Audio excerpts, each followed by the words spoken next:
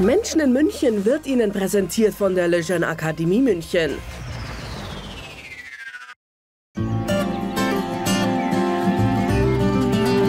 Menschen in München mit Jörg van Hofen. Willkommen, liebe Zuschauer, zu Menschen in München. Heute freue ich mich auf einen Rundgang mit Oberbürgermeister Dieter Reiter. Hallo, Herr van Hofen. Grüße, Herr Reiter. Grüß Sie. Herr Reiter, warum ist es für München wichtig, die Sozialdemokratie in der Stadt ähm, zu befördern?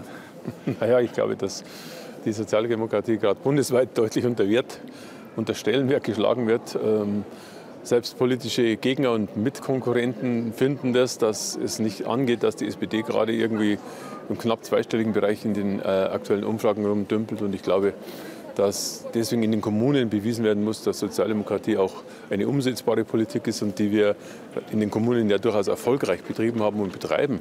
Deswegen glaube ich, wird es auch in München äh, nicht so ausgehen, dass äh, wir hier ein ähnlich katastrophales Erlebnis haben wie im Bund oder im, im Freistaat Bayern. Ja. Da bin ich ziemlich sicher. Ich meine, Sie, Sie machen das ja jetzt als Oberbürgermeister seit knapp sechs Jahren. Ja. Und es ist ja eine, eine, ähm, ja, ein Zusammenarbeiten mit der CSU, die zwar immer mal wieder, die Zusammenarbeit hat zwar immer wieder geholpert hier und da, aber, aber sie haben es ja irgendwie hingekriegt, dass sie gehalten hat, diese, dieses, dieses Bündnis. Wo, warum hat es gehalten?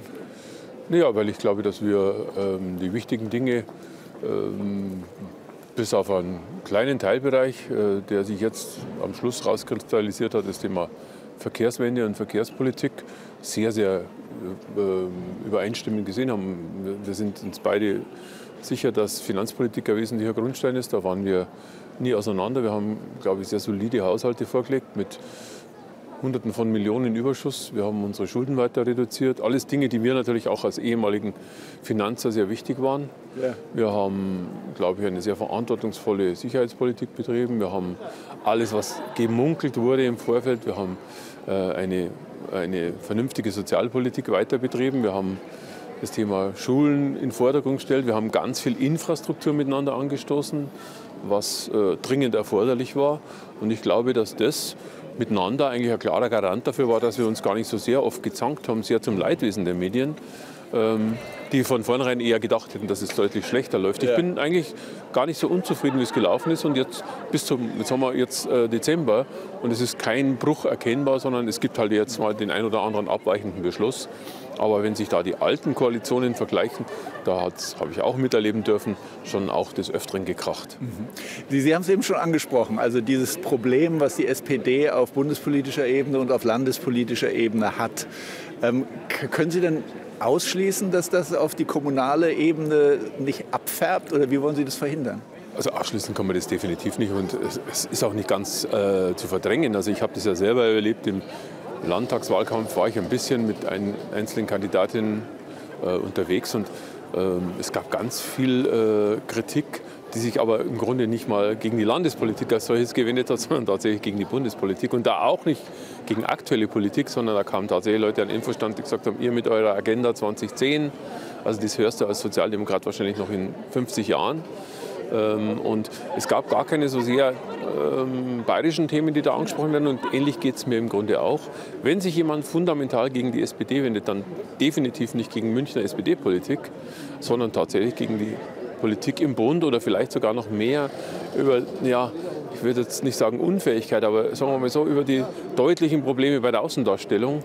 Denn politisch gesehen ist die SPD in der letzten Bundesregierung gar nicht so schlecht gewesen. Wenn man denkt, wie klein sie ist im Vergleich zum Partner, mhm. haben sie Dinge durchgesetzt, die man nicht für möglich gehalten hätte. Leider gelingt es halt der SPD überhaupt nicht. Und das muss man halt wirklich ganz deutlich kritisieren, diese Inhalte in den Vordergrund zu stellen, sondern seit Martin Schulz aufgestellt worden ist, schaffen wir es, dass wir im Grunde durchgehend nur noch über Personaldinge reden. Und das ist das Schlechteste, was passieren kann. Und das erleben wir ja gerade auch. Und fragen Sie mal heute jemand, was von, über die SPD einfällt, dann sagt Ihnen jetzt aktuell jeder, ja, das ist doch das mit der Kandidatenrunde. Niemand sagt Ihnen, ja, wir haben jetzt, sind dabei, eine Grundrente einzuführen. Etwas, was es in dieser Republik noch nicht gab. Ja. Das ist das Problem. Und da müssten Sie deutlich, deutlich besser werden, die Berliner Kollegen. Menschen in München mit Jörg van Hofen. Motiviert geht es weiter mit Menschen in München, präsentiert von der Lejeune Akademie.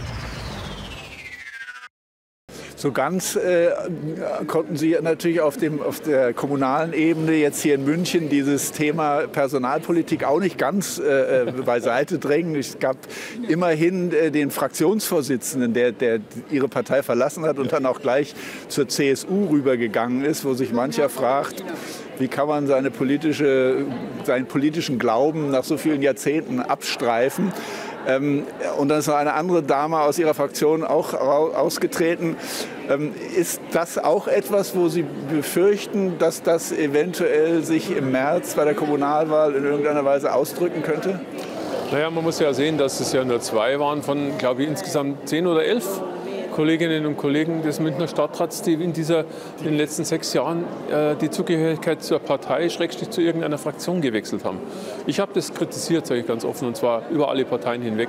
Ich glaube, dass das dem Thema Verlässlichkeit, dem Thema Vertrauen in Politik einen Bärendienst leistet wenn Menschen, die wählen, nicht wissen, ob diejenigen, die sie gewählt haben, am Schluss dann auch noch der Partei, damit auch der politischen Grundausrichtung angehören, die sie eigentlich äh, zugedacht haben. Ja. Das kann uns nicht gut tun. Und wenn es Zahlen werden wie dieses Mal 10, 11, die diese, praktisch diesen Wechsel vollziehen, dann muss man das natürlich schon auch sagen, da muss man das sehr kritisch sehen. Das kann nicht funktionieren. Wir haben einen riesigen Glaubwürdigkeitsverlust in die Politik insgesamt und da hilft sowas natürlich gar nicht. Und speziell zu Alexander Reisel muss man natürlich sagen, dass ich es für unmöglich gehalten hätte, dass jemand nach 45 Jahren aus der SPD austritt und dann Stantipete zum langjährigen politischen Gegner wechselt. Das ist schon sehr ungewöhnlich. Muss er mit sich selber ausmachen. Ich weiß nicht, ob er damit glücklich wird oder glücklich ist. Ist aber auch nicht mein Thema. Ich bin sehr zufrieden mit meiner Fraktion, die diesen Verlust der ja objektiv äh, aufgrund der Fachkenntnisse äh, natürlich war, glaube ich, sehr gut verkraftet haben und sich gleich mit einem Spitzenteam aufgestellt haben und dieses Thema kompensiert haben. Da war ich sehr froh und es war wirklich nicht lange ein Thema. Aber wie fängt man das dann intern auf? Sie als Chef müssen dann ja irgendwie auch Ihre Truppe sozusagen da nochmal motivieren, wenn, wenn einer Ihrer wichtigsten Leute weggeht. Naja, es war ja schon so, dass am Schluss wir durchaus unterschiedliche Meinungen, und das ist ja wohl auch der Grund für Herrn Reisel gewesen, die Fraktion zu verlassen und auch die Partei zu grundsätzlichen Themen hatten, wie zum Beispiel äh, das Thema Umweltschutz, das Thema Zukunft, das Thema Kohleverbrennung, das Thema Verkehrspolitik. Da war er halt grundsätzlich anderer Haltung und hat sich offenbar nicht mehr dazu durchringen können, Mehrheitsbeschlüsse mitzutragen, sondern gesagt, dann mache ich nicht mehr mit. Insoweit war es gar nicht mal so schlimm für die Fraktion, weil sie ja mehrheitlich ohnehin also gerade in den angesprochenen Themenbereichen eher anderer Meinung war. Und ähm, wir haben deswegen auch extra ein, ein Team sozusagen äh, ins Leben gerufen, weil wir das Gefühl hatten, dass gerade diese Teamfähigkeit in der Fraktion besser gefördert werden kann, als es vorher der Fall war. Und so ist ähm, das, die, die, Stimmung in der Fraktion hat sich deutlich verändert, ist deutlich positiver geworden, als sie vorher war. Und das, das ist jetzt nicht die schlechteste Entwicklung. Äh, als letzte Frage zu dem Thema. Ähm, Sie haben natürlich auch immer davon gesprochen, dass Sie die SPD in München jünger machen wollen. Und äh, hat er da vielleicht auch für sich keine Zukunft mehr gesehen als Fraktionsvorsitzender? Hätten Sie ihn da unterstützt oder haben Sie ihm so ein bisschen das Zeichen gegeben, äh, da ist seine Zeit auch abgelaufen? Naja, wir hätten ihm auf jeden Fall, da, wenn die Partei mitgegangen wäre, wovon ich ausgehe, einen sicheren Listenplatz geboten. Ähm, da konnte er davon ausgehen, das wusste er auch. Äh, das Thema Fraktionsvorsitz war kompliziert und ich glaube schon, dass er anhand der letzten Abstimmungen erkennen musste, dass es keine uneingeschränkte Zustimmung mehr gibt zu ihm als Fraktionsvorsitzender. Wenn man also bei der letzten Wahl in ein Patt 12 zu 12 läuft, äh, mit einem Mitbewerber, dann kann man nicht davon ausgehen, dass man beim nächsten Mal dann auch sicher wieder Fraktionsvorsitzender ist. Also insoweit wusste er das schon. Allerdings ist er, glaube ich, auch bei der CSU eine Fraktionsvorsitzende, wenn mich nicht alles täuscht. Ähm, wenn wir jetzt mal uns dem, dem anderen, der anderen großen Partei äh, im Münchner Stadtrat zuwenden, den Grünen, die ja ähm, bei den Europawahlen ungeheuer abgeräumt haben hier in, in München. Ähm, und haben Sie oder wie wollen Sie dem begegnen, dass also der Zugewinn der, der Grünen nicht auf Kosten der SPD geht? Ja, ich glaube, der, der, geht schon aktuell auf Kosten der SPD. Also die Ergebnisse, die wir bei der Landtagswahl und der Europawahl gesehen haben, glaube ich, da sind schon viele ehemalige SPD-Wähler dabei. Ja. Und, und, das ist unser, unser grundsätzliches Hauptthema, ganz ehrlich. Wir müssen irgendwo klar machen, dass die SPD tatsächlich die Partei ist, die jetzt speziell in München auch für das Thema Nachhaltigkeit, Klimaschutz, Umweltschutz steht. Und zwar weniger ideologisch geprägt, sondern mehr pragmatisch geprägt, weil das halt mein Wesenszug ist. Ich will auch Dinge haben, die man umsetzen kann. Und die Umsetzbarkeit die fehlt mir bei vielen grünen Vorschlägen komplett.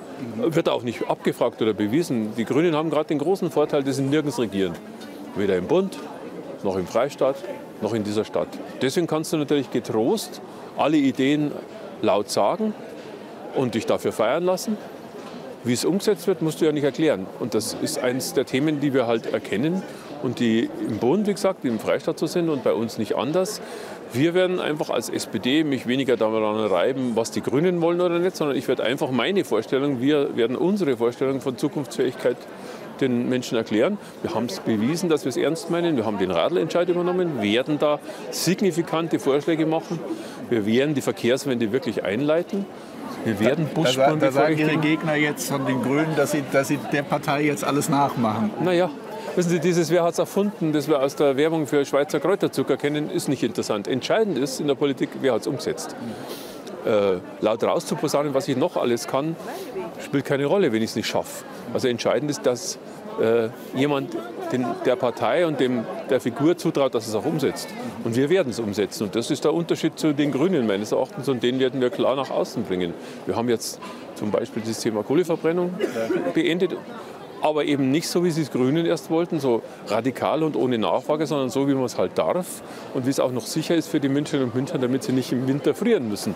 Das halte ich für eine pragmatische Umsetzung von solchen Vorschlägen, die an sich betrachtet ja durchaus richtig sind. Ja. Also insoweit gibt es da für mich kein Abkupfern, sondern wir denken halt über die Themen seit Jahren selber nach und machen das, was realisierbar ist und was notwendig ist. Mhm.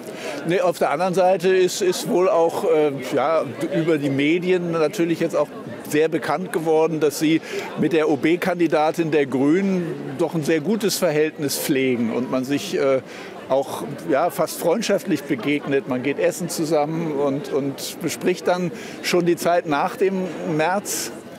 Ähm, also wir besprechen jetzt erstmal meistens Dinge, die aktuell sind. Wir kennen uns schon seit die Frau Habenschaden im Stadtrat ist. Wir haben uns gut vertragen.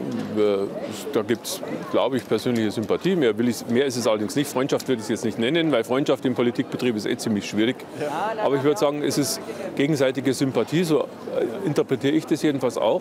Und da macht es manche Dinge leichter, das ist ganz klar. Du kannst ja leichter mit jemand äh, dich unterhalten und auch vertraulich unterhalten, wenn man sich gegenseitig vertraut, dass das, was man sich sagt, auch unter uns bleibt. Und das tun wir halt. Und ich glaube, alle ob das jetzt die Grünen, die SPD oder die CSU sind, werden einen Teufel tun und sich jetzt darüber unterhalten, was nach dem 15.03. passieren wird.